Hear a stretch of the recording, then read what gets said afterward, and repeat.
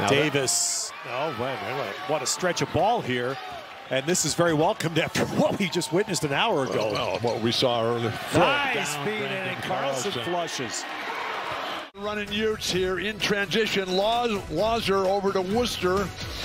Holy Cross territory, but yeah.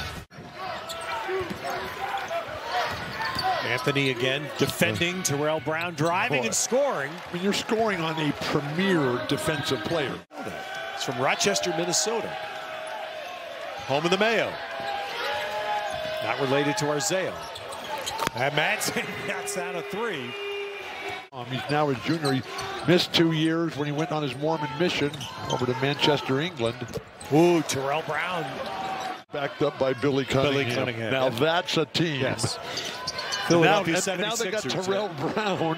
And Oh. Benjamin. And there is the biggest lead of the game. When you get the guy in the middle of the ball, and that guy, And there's a steal. Washington Beautiful. opening this up as Daejon Davis.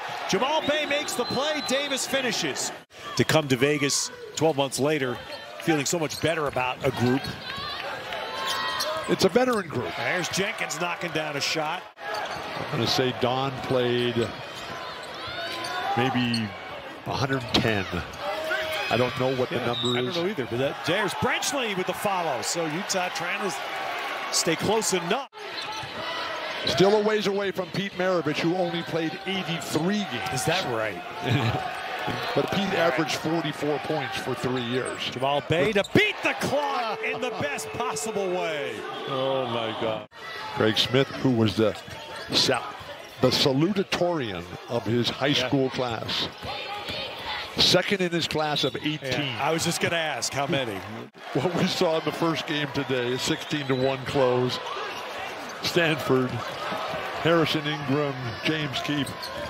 We're never going to be able to call a game over again And there you go with Throw it setting up Carlson. right now. And smart. Yep, doing it very wisely. But they're going to move the ball. Let it fly. Cole, you're hot, man. Sets up Nice. Daejon Nice. Davis. What a, I mean, you talk about a, an outstanding example of how to play. Not to shoot when he got in the other day. Bobby should have shot the ball from half court and then run down and jump in the student section.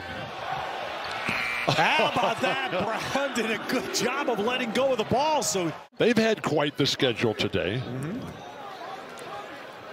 I don't know how they remember everything. Gives the shooter a different look, which is never good. now there's a shot. there you go.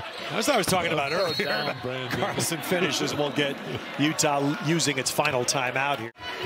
We have three of the four tomorrow. Roxy Casey, Casey has Right. four of the four. Right. Roxy and Don will be with you at noon for the uh, Stanford Arizona game. Look how happy they all are. On the, the dog pound has been fed.